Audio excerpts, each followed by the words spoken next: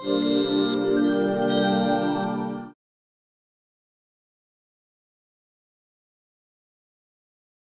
sono a Didacta, devo dire che ho trovato molta partecipazione, molta voglia da parte dei docenti di partecipare anche a dei corsi di aggiornamento e di formazione.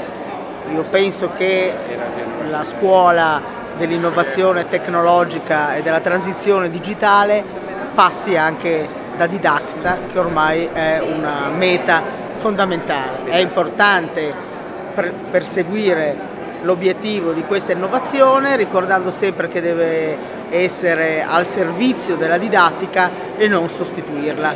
Questo per me è importante perché poi se no il limite è labile della differenziazione, quindi apprendimento e trasmissione delle conoscenze che tradizionalmente si sono sempre fatte, sviluppando e potenziando tutti gli strumenti che la tecnica e l'informatica ci mette a disposizione.